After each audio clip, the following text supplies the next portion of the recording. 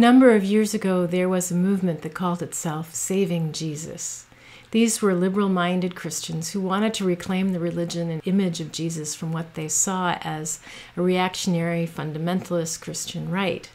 They feared that too much emphasis had been placed on personal salvation and not enough on the teachings of Jesus that called for creating a socially just world. They asked, Ever feel like Jesus has been kidnapped by the Christian right and discarded by the secular left? One of their proponents, the progressive Christian minister Reverend Robin Meyers, offered these prophetic words more than 10 years ago. Everybody knows something is wrong. It doesn't matter if you talk to liberals, conservatives, Unitarians, or Pentecostals. Do you think we're on the right track? No. Are you worried? Yes.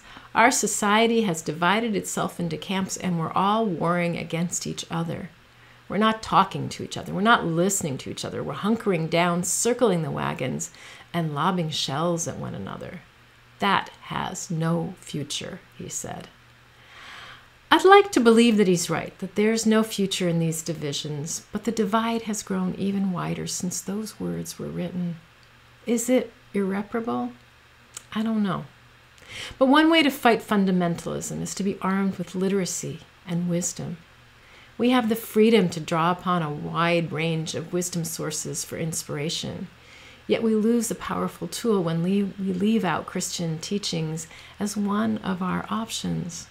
Our challenge is to claim our roots, to take what we need and put it into its historical context. Much of what we can learn from Jesus is found in his parables. These are stories that speak of a radical vision of society that is more than just turning the other cheek. The project of the parables of Jesus was to get people talking, to throw them off balance, to get them thinking and questioning. In other words, his teachings were intentionally meant as paradox.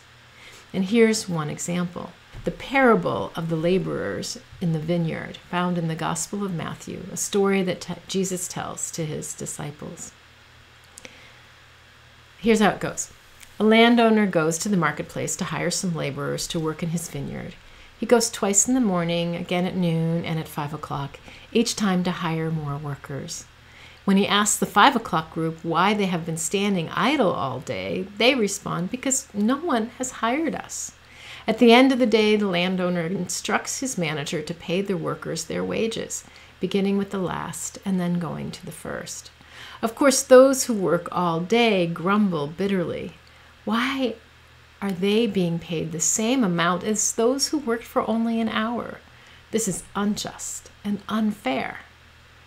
The landowner responds, Friend, I am doing you no wrong. Did you not agree with me for the usual daily wage?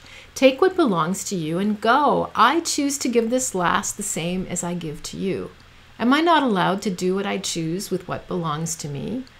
Are you envious because I am generous? So says Jesus to his disciples. The last will be the first, and the first will be the last.